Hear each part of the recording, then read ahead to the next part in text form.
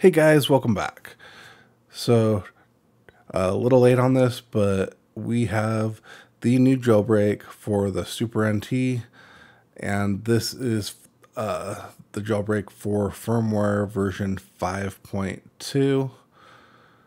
And so let's take a look. Again, this is from Analogue JB, uh, who seems to be making the new jailbreak. So let's take a look at release notes real fast.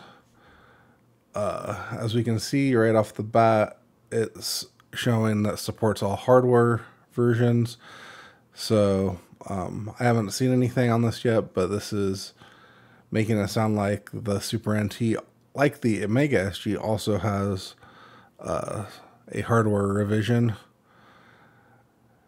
Uh, fixed screen tearing when using fully buffer mode, fixed spaces and menus so they are highlighted now for consistency, fixed game genie, turn on, launch system timing and hardware menu, fixed SNES power pack, turn on launch system timing and hardware menu, fixed Hori SGB commander issue, fixed R-Type 3, Super R-Type issue, fixed Wing Commander, drum sound, fixed Romancing Saga 3 battle sound, fixed Final Fantasy 2 slash 4 final boss sound, fixed Chrono Trigger final boss sound, uh, fixed, I'm not even going to try that, Augusta 3 graphic issue, uh, fixed power issue,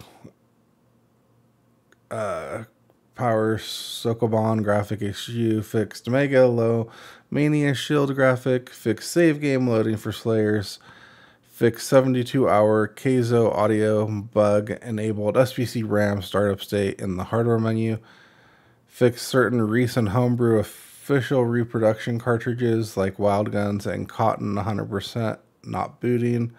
I think these last ones are actually where it starts with maybe some uh, specific issue or fixes for the actual custom firmware because if we actually look at firmware 5.1, we can see it starts with the screen tearing when using fully buffer mode, and then it fixes the 72 hour. So we can see that they're the same here down to here. And then firmware 5.2 was a minor pass through mode menu bug, uh, which I don't even see that he listed here. It's probably just an oversight. So it looks like these ones, starting with the wild guns, uh, looks like maybe fixes that were added specifically for uh, this custom firmware. So fixed copy SNES save RAM reading bugs, fixed copy SNES SDD-1 detection, fixed Fire Emblem 5 patch issue, fixed Rockman X2 speed issue, fixed when exiting SPC player and 720p, no longer resulting in 120 hertz video, then fixed SPC LED color. So looks like that's about it. Uh, like I said, does look like this version, unlike some of the other versions, actually has some fixes for people using games that are patched and different things. So uh, kind of cool that he did some extra patches here.